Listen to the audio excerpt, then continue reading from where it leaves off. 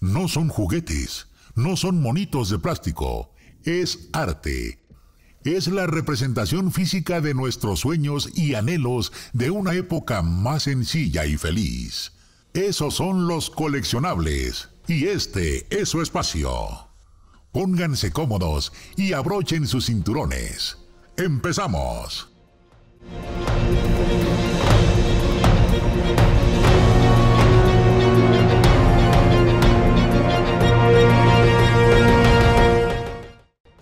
Acompáñenos.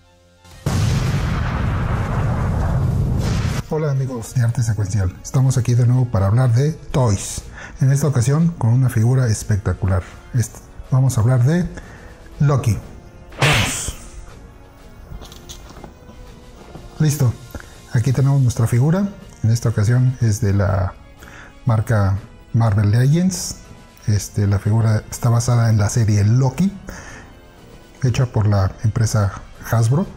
Aquí tenemos, podemos ahí checar desde la ventana cómo se va viendo nuestra figura, algunos de los accesorios y ya este, podemos checar algunos detalles que traen este, esta muy bonita figura. Vamos a ver primero el empaque, podemos ver el arte, aquí en el lateral podemos ver cómo está bien representado el actor este, en esta eh, pintura este, digital lo cual plasma muy bien este, lo que es el personaje y el actor mismo. Y aquí en la parte de atrás, pues obviamente pues ya tenemos nuestra descripción del personaje. Tenemos aquí nuestra sección de qué este, partes vamos a estar armando para este Falcon. En esta ocasión se trae la, la pieza 3 que le corresponde a Loki, el cual este, nos está incluyendo pues este lo que es una base y lo que es este el pequeño avión que acompaña al, al, personaje de Falcon. Y trae aquí una pieza extra. Entonces aquí podemos ver el precio que nos incluye de la empresa Sambors en esta ocasión pues costó 719 pesotes. Ok ok vamos a contribuir un poco más para la fortuna de Carlos Slim porque pues, se está quedando un poquito pobre ya podemos checar aquí nuestro empaque, lo que más o menos nos incluye. Ahora sí vamos a ver la parte interesante. Vamos a ver la figura como tal. Vamos a ver cómo se abre esto. Aquí trae un pequeño seguro. Así es que ahorita regresamos. Un minuto y 37 segundos más tarde. Listo, ya regresamos. Aquí ya tenemos nuestro empaque. Vamos a dejarlo aquí a un lado. Y ahora sí vamos propiamente con nuestra figura a revisarla. Vamos a checar primero los accesorios que nos incluyen. Aquí trae este pequeño avión, que es el que siempre está acompañando a nuestro personaje de Falcon. Podemos ya apreciarlo. Detalle, más o menos este no, no es este como que una pieza demasiado grande para incluirle muchos detalles. Podemos ver que está confeccionado las alas en esta goma flexible. Trae algún tipo de esculpido, combinación de colores que ya está este, muy ad hoc con el personaje, este rojo, este morado, violáceo, azul más o menos, y el gris este que nos intenta molar este lo que es metal. Trae este pequeña stand o este soporte para darle esta sensación de vuelo lo cual pues se, ve bastante, bastante cool. Entonces ahí está bien este, este accesorio como tal para nuestra pieza que estaremos armando próximamente. Aquí tenemos este parece lo que es el soporte de nuestra este accesorio. Eh, miren este color transparente para simular que es este es invisible, entonces vamos a hacer eso y a lo mejor trae estas como pequeñas ondas para simular que a lo mejor puede ser aire que es el que está sosteniendo y está creando esta corriente de aire que mantiene en vuelo a, a nuestro accesorio. Entonces vamos a tenerlo aquí a un ladito. Trae aquí también esta pieza más vamos a ver qué, qué parte de nuestra figura es no sé, vamos a dejarlo, pues más adelante parece que es la parte de atrás de, la figura, porque parece que aquí trae un, un, lugar para encastrar otra pieza, entonces eh, ahí es donde este, pudiera este, ir la pieza y esto va yo creo que directamente a la espalda de la figura. Entonces este seguramente ese es el fin. Así vamos a pasar a lo bueno. Nuestra figura de Loki, el, rey de las mentiras, el hermano de Thor, el villano, el antihéroe. Ha tenido tantos títulos que uno más, pues yo creo que no está de sobra. Aquí trae una pieza extra, pero ahorita vamos a verla. Y yo creo que en esta serie se ganó el, mote o el, nuevo sobrenombre de Loki, el rey de los godines. ¿Será o no será? Ustedes juzguenlo. Ok, y aquí podemos ver nuestra figura. Este, este está basado pues este, propiamente este, en este uniforme que le dan este, en la serie, que es esta chaqueta que trae aquí muy elegantemente puesto aquí el logo de, variante, lo cual este, él no le gusta mucho porque él siempre es y se considera el original, pero es, es algo debatible en la misma serie, ¿ok? Trae su, su muy bonita corbata Godín, e, esta chaqueta esté muy bien, muy, muy bien hecha, muy bien esculpida. La parte aquí del torso pues viene este, en esta goma suave para que tenga cierta flexibilidad y le ayude un poco en lo que es aquí el corte de, de esta articulación del torso. Está muy bonito esculpido aquí este detalle de, del cinturón con su hebilla. Muy nice. Este, muchos, muchos pliegues en la ropa, lo cual este, eso es bastante bueno. Parece que aquí trae una articulación este, en la parte del, del brazo, la articulación del hombro, la articulación del codo. Entonces bastante móvil nuestra pieza para tener varias este, posiciones que nos ayuden.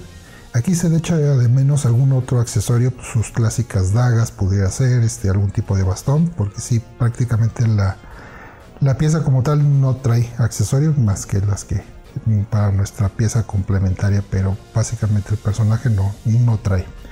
Pues aquí también podemos pues, aquí el esculpido de, del pantalón, también este, muy bien hecho, este color café un poco más oscuro, la chaqueta en un café más suave, zapato negro, pues como buen godín, bien boleado, para que no quedar mal con los jefes. Ahora vamos a pasar, también aquí está muy padre el detalle, nada más aquí se alcanza a notar un pequeño error, si pueden apreciar aquí la pintura que se alcanza a ver entre la camisa y el cuello. Ahí como que se les pasó un chorrito de pintura y ya el cuello ya les quedó color color camisa. Ahí, ahí como que falló un poquito el control de calidad, pero pues bueno, detalle mínimo. Ahora aquí este, vamos a la parte interesante de la figura que es la expresión y el esculpido del rostro como tal. A ver, vamos a vamos a intentar aquí este primer plano para apreciarlo. Ustedes chequen ahí la expresión, los ojos, el esculpido. Yo creo que es un trabajo bastante bueno, bastante decente, considerando la escala, que es una escala pequeña y en esos casos es, es complicado este, plasmar los detalles y que no se pierdan este, el parecido. En este caso creo que cumple bastante bien, da la expresión, aunque parece una, una expresión neutra, no, no, no, no expresa nada, no es, es, una expresión muy, muy, este, muy X, entonces no, no podríamos ponerlo en una posición de acción porque pues bueno, quedaría un poquito, medio, no desentonaría. Entonces, pero pues a lo mejor para una este, posición a lo mejor más relajada, a lo mejor con otros personajes como Morbius, este, ahí en las clásicas pláticas que tenían este, en, la cafetería, se vería bastante bien. Ahora, aquí otra parte importante es el cabello. El cabello, este, aquí hicieron algo, no sé, es extraño porque Si lo vemos de este lado, tiene esta parte muy, muy bien peinada, muy bien acomodada, muy bien más o menos este, en su lugar. Pero si vemos este lado, ya la tiene como que ya un poco alborotado, un poco como que le dio el viento y, ahí se despeinó un poco. Entonces ahí como que de un lado está bien y del otro lado pues ya, ya trae la fiesta encima. Entonces ahí está medio extraño.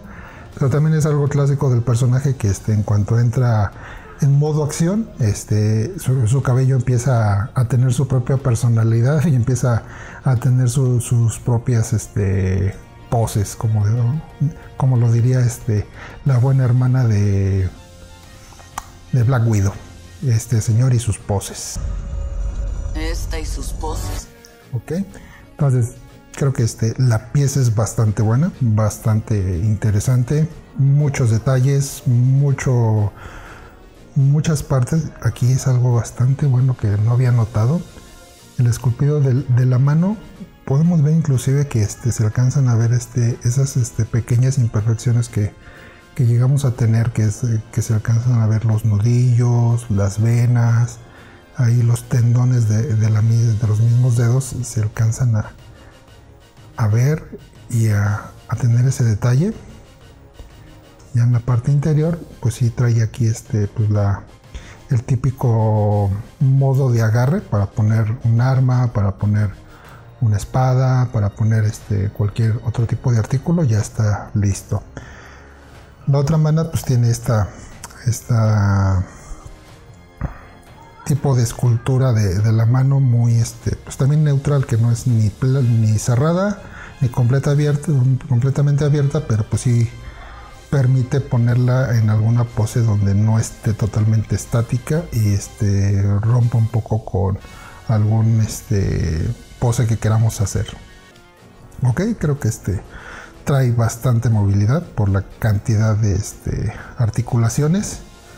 Y al ser este, estas piezas que son este, con trajes de civiles es muy complicado que este, queden bien las, las articulaciones porque como son tan evidentes no se pueden ocultar a lo mejor en un pliegue de hay un traje heroico o estos que tienen colores muy oscuros o tienen muchas este, detalles y muchos cortes los mismos este, diseños entonces ahí se alcanzan a ocultar las, las articulaciones este, que necesita una pieza.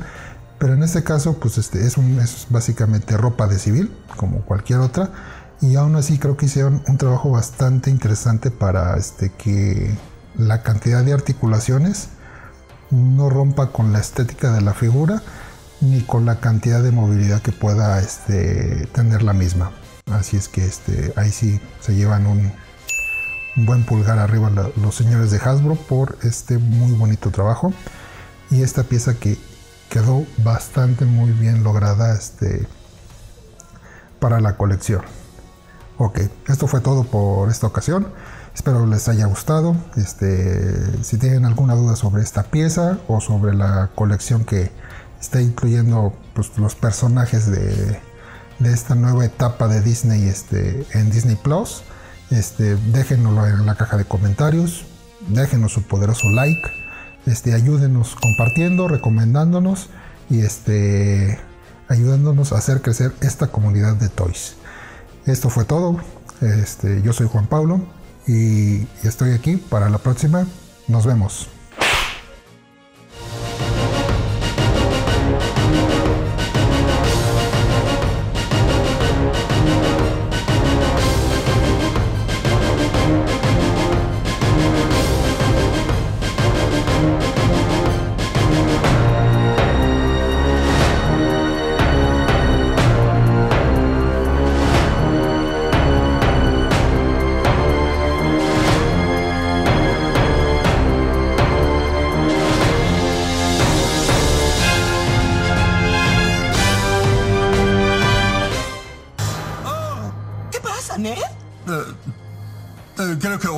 Simpson.